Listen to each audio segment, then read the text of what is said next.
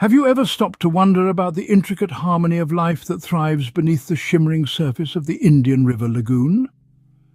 Take a moment to picture this. A stretch of water that spans 156 miles along Florida's east coast, a liquid highway for countless species, a lifeline for the diverse ecosystem it supports. This is the Indian River Lagoon, a marvel of Mother Nature that serves as a home to more than 4,000 species of plants and animals. The Indian River Lagoon is a world teeming with life, a world where every organism, no matter how small, plays a pivotal role. The lagoon's seagrass beds, for instance, not only provide nourishment to animals like manatees and sea turtles, but they also act as nurseries for a variety of fish.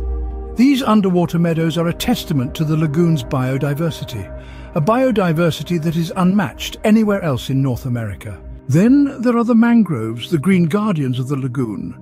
Their tangled roots not only protect the shoreline from erosion, but also serve as a sanctuary for birds, crabs and young fish.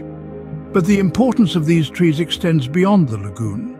They are a vital component of our planet's carbon cycle, storing more carbon per unit area than any other ecosystem in the world. The lagoon also acts as a haven for a myriad of bird species, from the majestic ospreys and bald eagles to the delicate sandpipers and herons.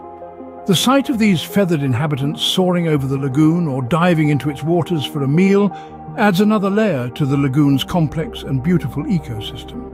And let's not forget the dolphins and manatees, the true stars of the lagoon.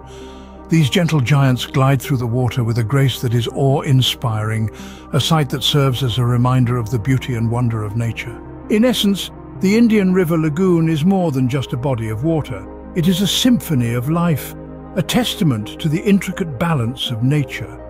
It is a place where every element from the smallest plankton to the largest manatee contributes to a grand ecosystem that is as captivating as it is complex. In summary, the Indian River Lagoon is a unique and diverse ecosystem that serves as a home to an array of life forms.